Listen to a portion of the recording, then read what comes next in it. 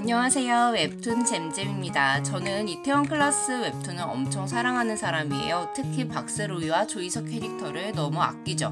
그래서 드라마에서 웹툰보다 감정적인 사람으로 표현되었던 박세로이와 너무 싸가지 없이 표현된 조이서에 대해서 앞선 리뷰에서도 부정적인 의견도 비추었던 사람입니다. 하지만 15화 저에겐 웹툰을 넘어선 그 이상의 감동을 느끼게 해주었던 회차였습니다. 15화 너무 질질 끌었다라고 생각하실 수도 있어요. 하지만 이번 15화는 네 가지 중요한 이야기를 하고 있습니다. 첫째, 로이 형처럼 사는 게 어려울 것 같지만 세로이처럼 살아가는 사람들의 이야기. 둘째, 세로이가 아버지에 대한 죄책감을 덜어놓고 본인 인생을 살아나가겠다라고 다짐하는 부분. 세 번째, 세로이는 어떻게 장회장 앞에서 무릎을 꿇을 수 있었던 것인가. 네 번째, 자랑스러운 아들에 대한 이야기입니다. 이 네 가지 주제로 하나씩 풀어나가 보도록 하겠습니다. 세로이가 병원에서 혼수 상태로 있는 동안 세로이의 사람들은 세로이처럼 행동했습니다. 이서와 근수가 감금을 당하고 이서가 장근원 앞에서 막 울 때, 어, 우리 이서 이거 아닌데? 라는 생각을 잠깐 했지만, 역시 괴롭히는 게 목적인 장근원을 파악하고 괴로운 척 해주는 거였다는 이서는 역시 조이서였는데요. 저녁에 시작된 이서의 밧줄 풀기는 아침이 되어서야 끝이 났습니다. 결국 손목 밧줄을 끊어낸 이서에게 너 진짜 독하다라는 근수는 풀어봤자 어차피 나가지 못한다고 말하는데요. 누가 구해줄 때까지 기다리는 게 아니라 내 삶을 주체적으로 내가 결정해서 내가 해결하고자 하는 이서의 모습이 멋있었습니다. 그리고 이서가 밧줄을 끊는 동안 마냥 묶여 있었던 근수는 좋아서 장가에 간 게 아니고 모두가 로이형 같을 수는 없다고 말합니다. 거기에 이서가 아니야 있어. 자기 가치관대로 소신대로 사는 거 어려운 것 같지? 온갖 핑계 대면서 편한 걸 찾고 싶은 거겠지? 라고 말합니다. 이게 이태원 클라스가 대중들에게 전하고 싶은 메시지 중에 하나라고 생각해요. 그리고 예전에 이서였다면 모든 일의 근원인 장군원을 정당방위로 해치워버렸을 텐데 참아냅니다. 드라마 초반부에 근수의 아는 형이 단밤에 와 갑질을 했을 때 우리 형님 건드렸다며 뜨거운 찌개를 들이부었던 최승건은 근수에게 걸려온 전화에서 이서가 납치되었다는 이야기를 듣고 병원 CCTV를 확인합니다. 그리고 뭔가 눈치를 채고 훈홀딩스에 찾아가고 큰형님을 만나보고 싶다고 소리소리를 지르며 상대를 열받게 하다가 깡패들이 날 폭행하려 한다며 너무 무섭다고 경찰에 신고를 하죠.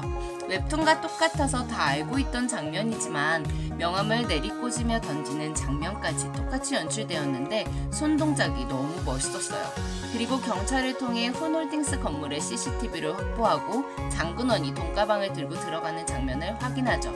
예전 최승건이었다면 있을 수 없는 일입니다. 철저하게 머리를 써서 이성적으로 행동했고 열받는 감정을 폭력으로 휘두르지 않았고 제대로 사는 모습을 보여줍니다. 그리고 이제는 암수화가 아니라 빗수화라고 부르고 싶어진 오수화는 최강포차 이후 사직서를 내려 했지만 결국 장가에 남았었는데요. 장근원 CCTV 영상 자료를 들고 장 회장을 찾아가 모든 사건이 장근원의 짓이고 회장님 덕분에 장근원은 납치와 살인 그런 걸 할 수 있는 사람이 됐다고 말합니다. 그리고 수습을 해야겠다는 장 회장에게 15년 전 사건도 이런 식으로 수습했냐고 말하는데 건나라 배우의 표정 연기가 압권이었습니다. 그리고 사직서를 내며 제 인생 처음으로 제가 원하는 선택을 합니다 라고 말하죠. 거기다가 10년간 모은 장가의 비리 파일을 건네며 힘과 공포만으로 사람을 움직이는데 한계가 있다. 상황이 더 악화되지 않게 막으셔야 한다고 압박합니다. 그리고 90도로 인사를 한 후 장회장을 내려다보고 뒤돌아가며 꼭 성공해서 세배로 갚을게요 라고 박 부장에게 말했던 19살의 오수아의 목소리가 오버랩되죠. 이 연출이 너무 감동적이었습니다. 본인의 성공을 위해 박 부장에 대한 기억을 묻고 살았을 오수아는 만만한 장근원에게만 박 부장을 죽인 너를 증오한다고 표현할 수 있었지 박 부장에 대한 생각을 하는 것만으로도 너무 죄송하고 괴로웠을 것 같습니다. 그리고 10년간 모아둔 장가 비리 파일은 오수아가 계속 장가를 증오해 왔다는 걸 보여주죠. 그냥 묻히거나 세로이에게 주거나 했을 비리 파일을 오수아는 당당하게 본인 스스로 장회장을 압박하는 용도로 사용해요. 자기 뜻대로 소신대로 살아갈 용기가 생겼다는 걸 보여주는 장면이었다고 생각합니다. 두 번째, 세로이가 혼수 상태에 있을 때 꿈에서 만난 아빠에 대한 이야기입니다. 퇴학을 당했던 날로 돌아가 세로이는 아빠와의 시간을 갖습니다. 그리고 아버지가 너 마음이 더 이상 쓰리지 않는 곳으로 가자고 말하는데요. 이 장면은 세로이가 만들어낸 내면의 자아가 세로이에게 하는 말이라고 생각합니다. 세로이는 19살 이후 15년을 복수만을 바라보며 산 인물입니다.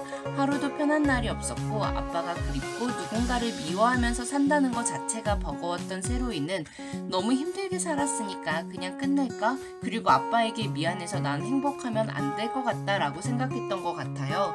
아빠의 복수를 끝내기 전에는 쓰린 밤을 지새우는 걸 끝내면 안 된다고 생각한 거죠. 그래서 이설을 사랑하게 된 본인의 마음을 알아채려 하지 않았던 것 같습니다. 물론 근수가 좋아한다는 이유도 있었지만요. 하지만 니체의 책에서 몇 번이라도 좋다 이 끔찍한 생이여 다시 라는 구절을 읽어줬던 이설을 떠올리며 이제 더 이상 평생 쓰린 밤을 지새우더라도 내 사람들과 살아가고 싶다고 말하고 사실 더 이상 내 밤은 쓰리지만은 않다라고 말하는 건 복수 자체가 내 인생이라고 생각하며 살았던 과거에서 벗어나 진정한 본인의 삶을 시작하려 한다는 걸 의미합니다. 아버지를 그리워하는 마음을 안고 살아갈 거지만 행복해지고 싶다라고 말하면서 왠지 모를 죄책감과 후련함에 눈을 뜬 후 한참을 목이 터져 울었던 거고 최순건은 어떤 의미인지 알 수 없었지만 행복하게 살기로 결심한 박세로이를 느끼며 다행이다 싶었다라고 말한 거죠. 세 번째, 많은 사람이 관심을 갖는 세로이의 무릎에 대한 이야기입니다. 무릎 한 번 꿇으면 세상이 편해질까? 하지만 난 당신의 아들이라는 장면 기억하시나요? 세로이는 무릎을 꿇지 못해 퇴학을 당했고 감옥을 갔습니다. 내 소신대로 행동한 일의 대가, 퇴학이나 감옥행을 무릎을 꿇음으로써 잘못했다고 인정하면 없던 일로 해주겠다고 했기 때문에 무릎을 꿇는 건 내 행동이 잘못되었다고 인정을 한다는 의미입니다. 하지만 무릎을 꿇으면 이서가 있는 장소를 알려주겠다라는 건 소신과 상관이 있나요?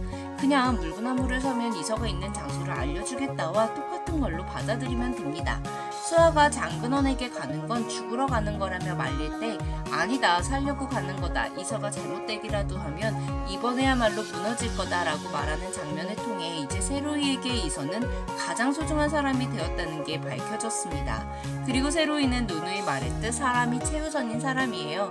내 사람을 지키는 일 거기다가 가장 소중해진 이서를 구해야 한다는 게 세로이에게 최우선이 된 겁니다. 소신과도 상관없는 무릎 따위 소중한 사람을 지키는 거에 비하면 아무것도 아니기에 장회장 앞에서 천 번이고 만 번이고 너무나 쉬운 일이라며 무릎을 꿇을 수 있었던 거라 생각합니다. 그리고 세로이는 장회장의 등을 쫓아 온생을 바쳤습니다. 그게 복수였지만 세로이는 감옥에서도 장회장의 자서전을 보며 장사 공부를 시작했고 가치관은 달라도 인정할 수밖에 없는 적이었습니다. 하지만 고작 인질극을 하는 한없이 나락으로 떨어져가는 장회장은 이제 더 이상 인정할 만한 대단한 사람이 아니게 된 거죠. 그래서 더 이상 장회장의 등을 쫓는 건 의미가 없다 생각한 것 같습니다. 네 번째, 1화부터 이어져 온 자랑스러운 아들에 대한 이야기입니다. 세로이를 버티게 했던 건 퇴학 후 얼마나 자랑스러운 아들이냐, 앞으로도 이렇게 살아라 라고 하는 아버지의 말 덕분이었습니다.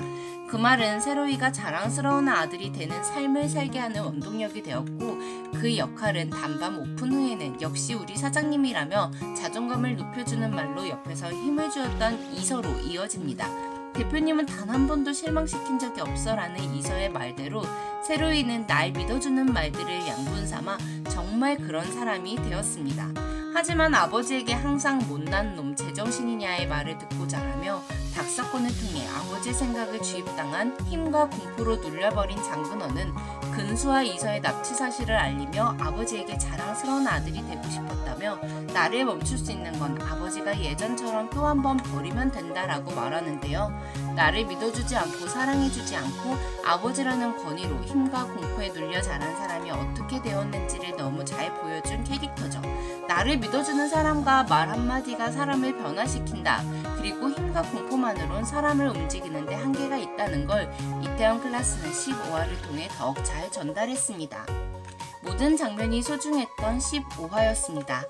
16화 리뷰로 찾아뵐게요. 지금까지 웹툰 잼잼이었고요. 구독과 좋아요, 알람 설정 부탁드려요. 감사합니다.